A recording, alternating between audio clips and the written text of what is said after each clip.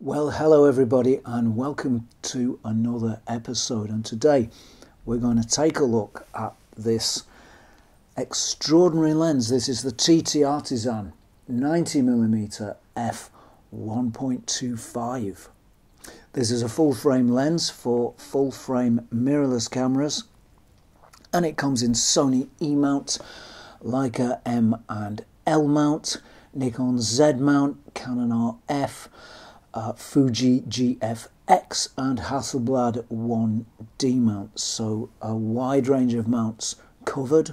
I didn't buy this lens, it was sent to me by TT Artisan, but of course I will give you an honest and straightforward review.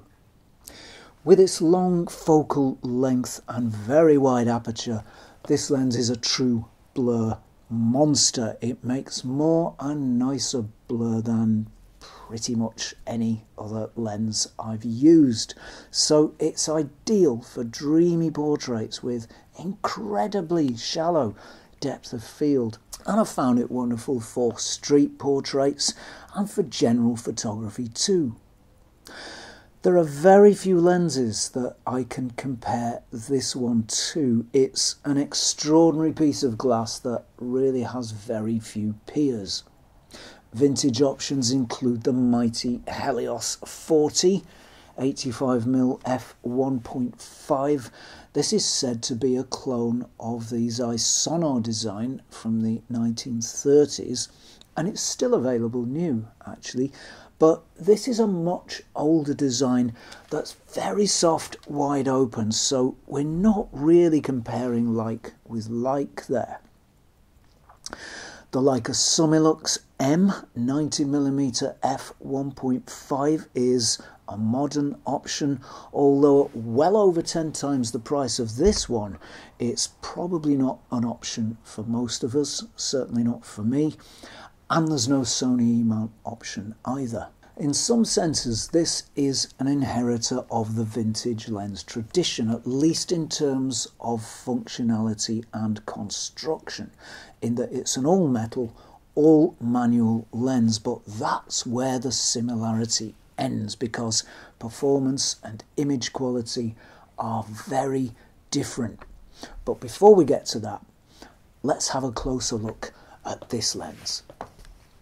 So there is our TT Artisans 90mm f1.25 and just look at that beautiful big front element. That is such a fantastic piece of glass. It's probably easier if I take it off the camera actually. This is a very, very nicely made lens. The standard of engineering is extremely high. All the tolerances are very tight and finely machined. There's no play anywhere, there's no slop anywhere. Everything feels very, very nice indeed. The aperture ring moves with a very beautiful fluidity and smoothness. It's damped as well and it feels really nice. It moves in half stops except between f1.25 and f1.4 which is a, a, single stop and the aperture values are f1.25 to f16 and I don't know if you can see it there but the ring is machined for grip. So that's machined directly into the metal but it is a, a very effective grip. The markings are similar to Leica style markings, and I'm glad to say that they're all engraved, so they definitely won't wear away like painted ones might. It's very, very fine engraving too. You can hardly feel it. And it covers all the markings the depth of field scale, the aperture scale, the focus ring, even the bezel ring has engraved markings on it there. In fact, the only thing that isn't engraved is the lens cap, but I think we can give it a pass for that. It's got this beautiful big focus ring right pretty much right in the center of the lens exactly where your hand's going to fall on it and it too is machined for grip it's got this uh, machined metal so you can hold it uh, effectively, and the minimum focus distance of this lens is one meter. All in all, this is a very beautifully made lens. It really is made to the highest standards. I absolutely cannot fault it for quality of manufacture. So there really has been a very pleasing attention to detail here. Oh, and by the way, let me mention the lens cap arrangement. We've already seen this big disc of a lens cap. Well, now you can use that in two ways. You can screw that on the front there, like that, and use it like that. Or you can just turn this whole can off there if you'd rather do that. If you do decide to use the lens cap as a screw on and off affair, then you can use this remaining collar part as a hood for when the lighting conditions get just that little bit too brisk and shiny and light. So it's a beautifully made, high quality lens, but how does it shoot? Well, really nicely actually. It's got a rare combination of three factors. That is a long focal length, a wide maximum aperture, a very wide maximum aperture, and sharpness because this lens is very sharp from wide open. This lens is sharp pretty much from wide open and you can use it like that all day long. In fact, that's how I've been using it. I've not really bothered to stop it down apart from um, testing it and seeing what it actually performs like when you stop it down a bit. Other than that, oh, that's bright sunshine today. Other than that, I haven't really bothered because I haven't really needed to. It's entirely sharp enough. And that is a real achievement to make a lens this long and this wide that performs with this quality and gives you this sharpness of image. That's a real achievement. So, those three factors of reach, very wide aperture, and real pin sharpness make this an ideal portrait lens.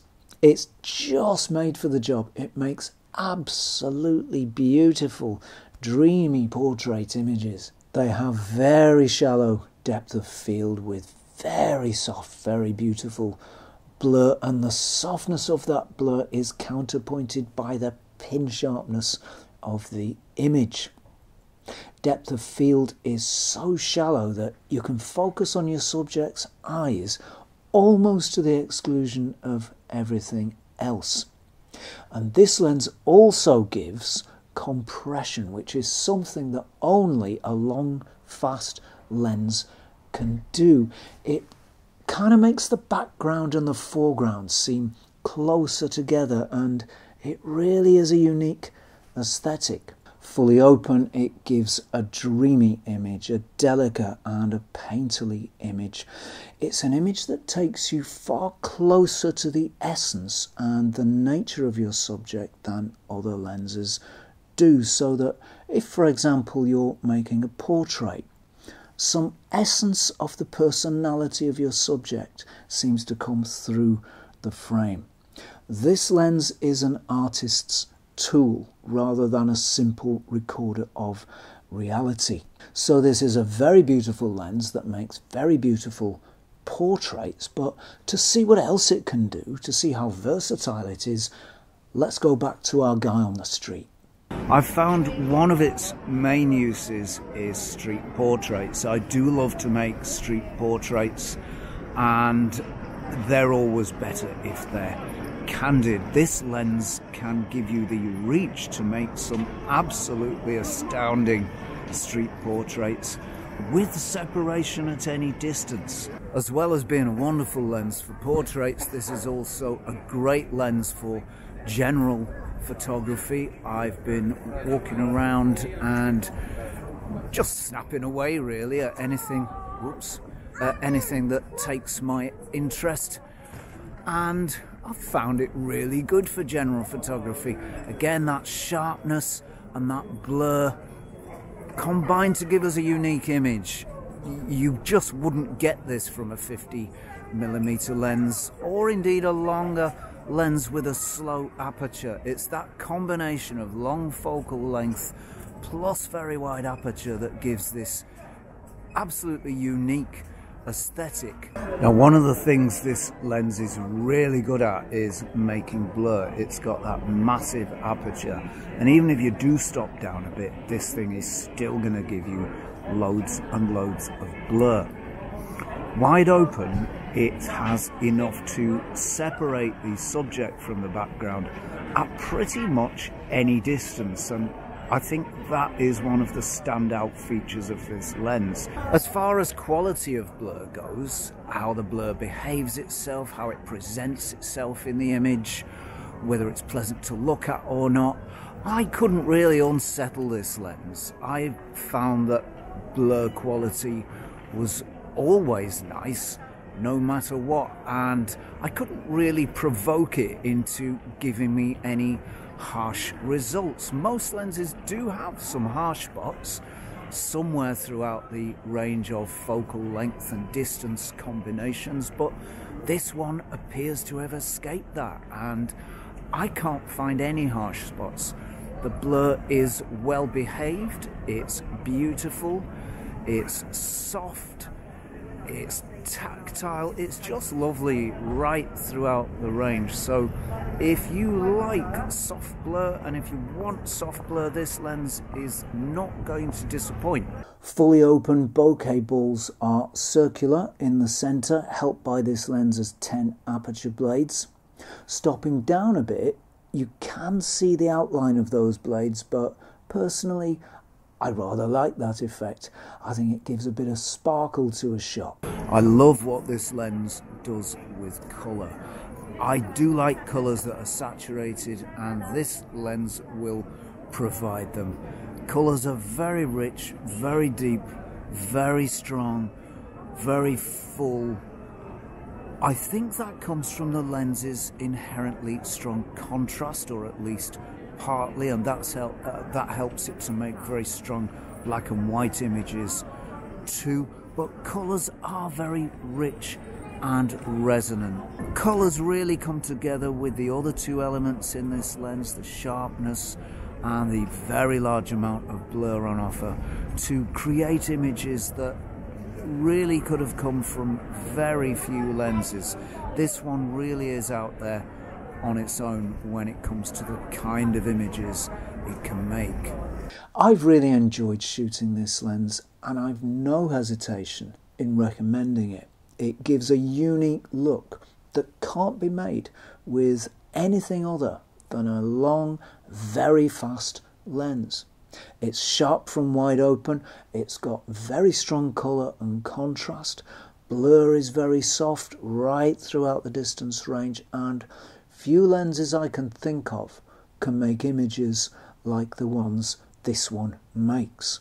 As for price, well, a mirrorless version is around about £500 or around £700 for a Leica M mount version, but that includes a built in rangefinder cam at the back of the lens here, which of course the mirrorless versions don't need. Its most obvious competitor, at least in terms of specification, is the Leica Summilux 90mm f1.5, but at around £10,000 that lens is about 15 times the price of this one. And looking at the performance of this lens, it's very unlikely to be 15 times better. So that's it from me for now. I do hope you've enjoyed this episode.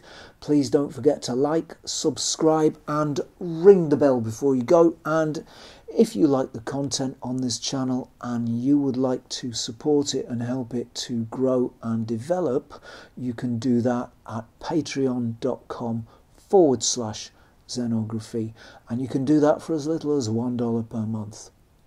As always, thank you very much for watching, and I will see you next time for some more Zenography.